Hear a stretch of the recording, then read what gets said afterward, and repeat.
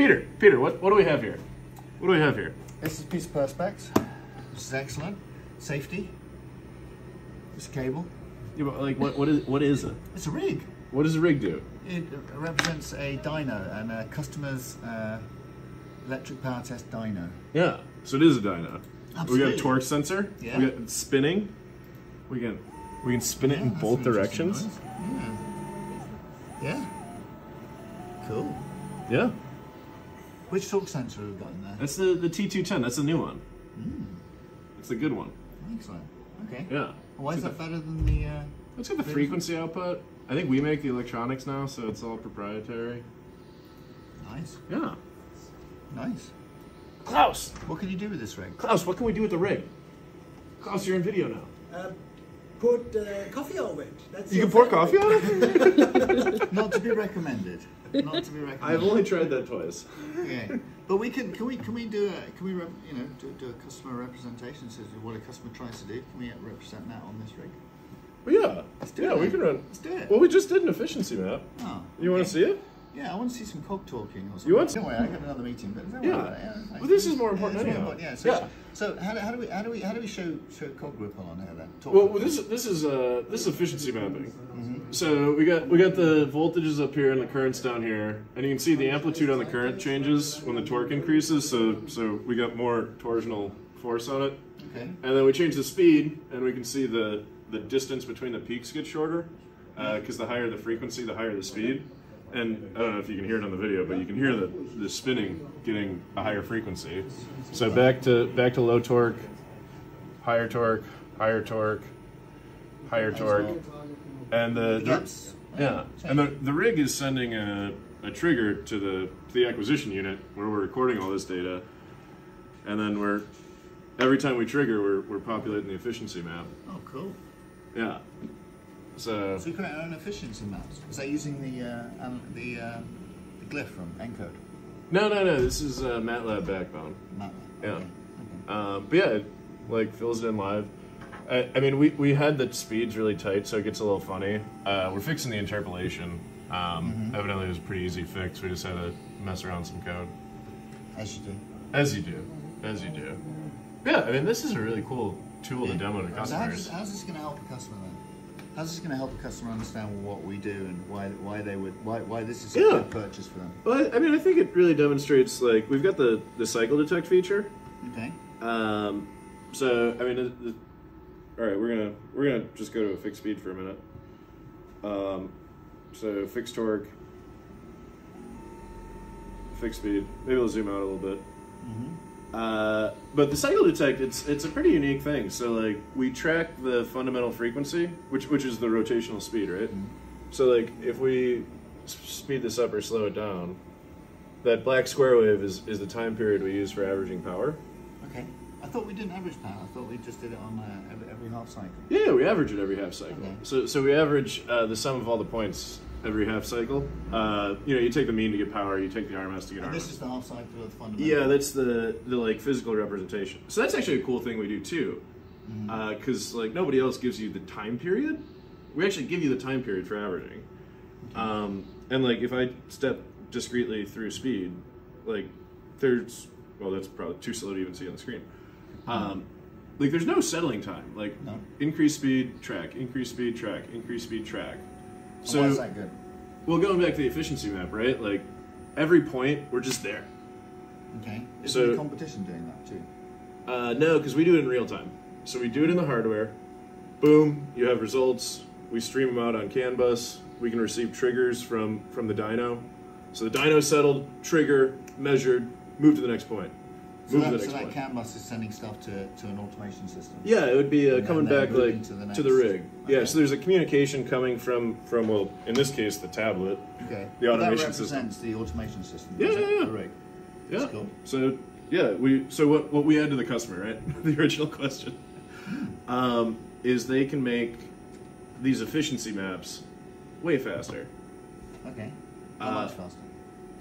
I mean, it depends how many points you're running, but if, if you look at like the cooldown times, you know, somewhere in the range of like, you know, you, you could take your one week test and maybe go down to three days, or you Wow. take your two week test and go down to to a period of time. Because if you're going to you know a tenth of a second versus ten seconds So for you- if you ten thousand points, If you save the customer two days, that's, that's what seven, eight thousand dollars. uh, I think in the open market, And that's just the test rate. That's not including the, Well, yeah. the technician time. yeah, if you go to like a test house, I want to say it's something like three grand a day. Wow. Well, that's U.S. I don't know what that is in funny money.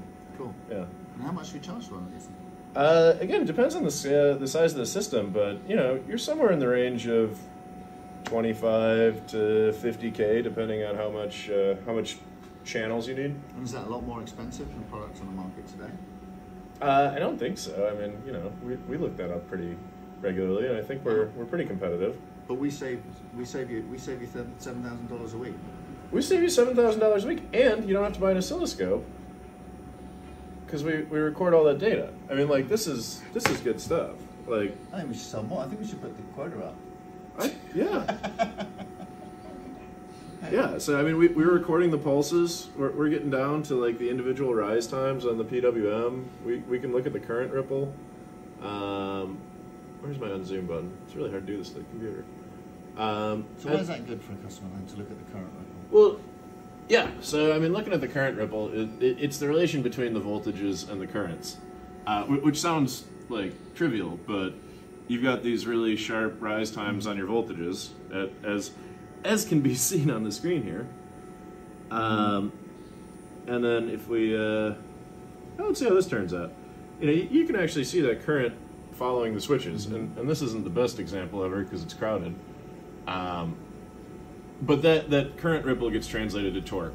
So if you have that vibration or that, that frequency in your current, that makes its way to frequency in your torque. So, so as a customer, what am I doing with that? Am I going back to my design team and saying your your, your unit's too too too coggy or too ripply? Well, or- yeah. I mean, you could go back to the motor design team and, and fine tune the model. I mean, a lot of it comes down to the, the winding function. But you can also go to the control team and change the DQ currents. Okay. You know, uh, torque ripple cancellation is basically active noise cancellation uh, in headphones.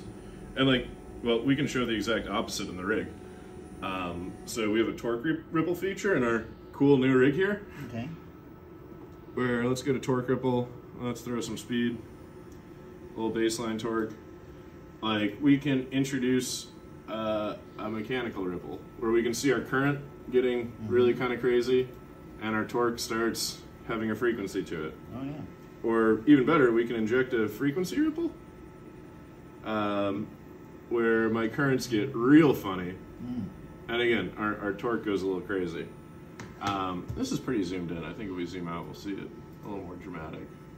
And uh, yeah well let's let's record some data and, and look at it in a static so like if i if i mess around with the frequency in my current i can change that torque behavior now in the rig we've intentionally made it worse um, but in real life you could do the opposite and make make the situation better so like, we, again we've got our like really smooth current So the intention is to, to, so a customer can actually see how they determine torque ripple on their system. Yeah. Using our. Yeah, you could understand how the controller that's controlling the currents directly affects the.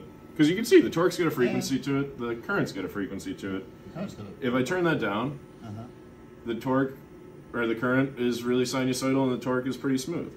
And if I, it- you know, if we want to look at something not moving, we can look at the data because we record all that data. Maybe we recorded that data. Okay. Maybe we edit this out and do it again. Why is it useful to record that data? Because I mean, you know. Well, yeah, you can always go back to review. You can go back to your design team.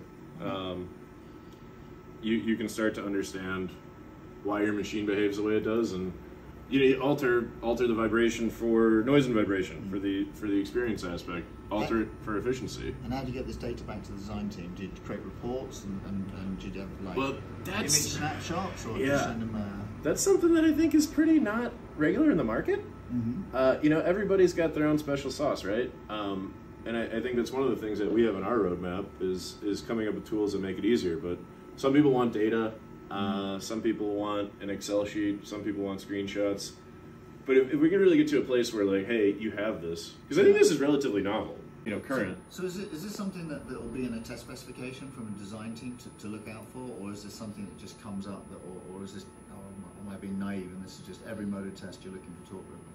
Uh, I mean, yeah. It, it- again, it, it's always application based, but um, torque ripple is always going to affect it. In a, in a car, it's going to be noise so, and so- so if vibration. you're a test engineer, you're looking out for torque ripple on this. Yeah. Yeah. So I mean, here here's here's some data, and like, all right, we'll auto scale it.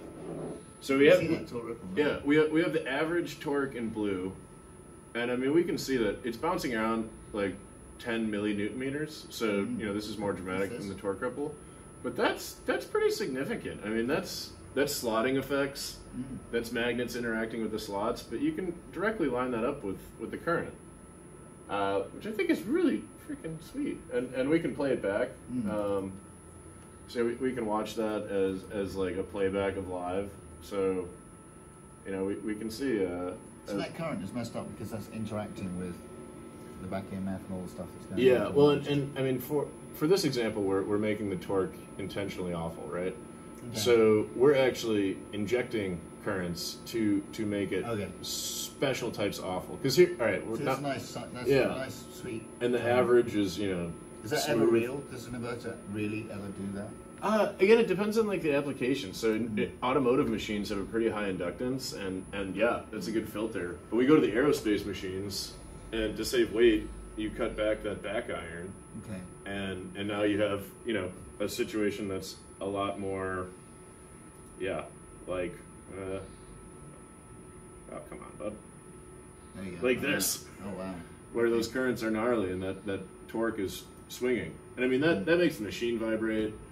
Uh, that will couple the structures, um, noise and vibration, obviously, and inefficiency. I mean, this Yeah. isn't necessarily great for the machine. Well, one assumes that vibration's not good for Yeah. reliability, right? But then, then we take, you know, all right, let's let's look at the acquisition side. So, Oh, wow. like, if we, if we go to our cycle detect, again, this is all recorded data. Application. So, so you- you're getting, you know, you're trying to put in a, a nice sinusoidal current, but because of the the design Yeah. of the motor, you're just getting, Yeah. it's messing things up, right? Yeah. So, so, so this will create torque ripple. Yeah, Okay. So, and that torque ripple will create vibrations. yeah, A vibration will impact passenger or cargo. Yeah. And it will impact reliability. Well, durability, Durability. because uh, when when you have that cogging torque in an aircraft or that torque ripple, I mean, you, you inject whirl flutter, which makes the propeller go like this, Oh. Okay. uh, which, which is not an instantaneous failure, but it's a long term fatigue. But one, of, one of the cool things we can do for power um, or, or RMS is we can record really easily these sine waves that are all over the place. yeah. You know, the cycle detect's looking at zero crossing, so even when this is really bad, we track it super nicely. Cool. And, and, and again, back to the design team. Back to the design team, back to the control team.